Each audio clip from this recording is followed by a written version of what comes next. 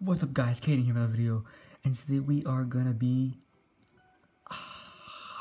sorry, we're gonna be checking out, not really, but we're just, at least be just looking at the new thing, the, the update of Piggy. Now sadly, I won't check out everything because apparently most of it is about player, because the trap one, well we need a player for this, and I have no friends. And the, the, the, the what's it called, the abilities, the new ability, that's what I'm actually triggered about because you need to acquire friends. MiniToon, why would you do that? Why would you acquire friends? Just doing it like by by their by herself. That literally ruins the whole purpose of the game. But wait, is this it? I don't think this is it. No, the decoy. So yeah, see, the, that's the problem. Like it, it, it, you need to have friends, which is so stupid. Like I don't know why. I mean, I don't know what you think, what were you thinking, but you know what? It's okay, but I will try my best to get every single. Wait, can I go here? Watch this.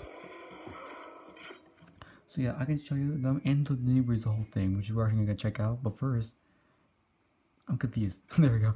So here's a new thing called the flare. A the place of flare that blinds affected. So basically, it blinds the the piggy, and then we got a new trap for piggy, which is the mouse one. So basically, it sets the mouse and then tracks their location, which is insane. And here's a new result result screen this is amazing, dude.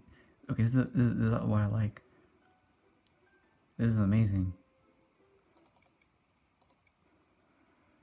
Yep, there is a new results screen right there.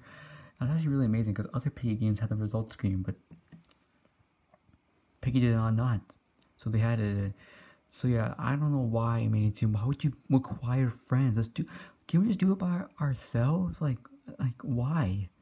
Like we is MiniToon trying to make this like a lot harder? I mean, because I mean, actually, you know, I could go to public server. Actually, no, I can't go to public server because MiniToon changed the carnival. Actually, you know what? Some some probably some little news will keep like you know picking the carnival. I could go there. I could go there, but you know what? I'm not gonna waste time because I'm pretty sure I'll, people are gonna pick the wrong maps. But we'll just see.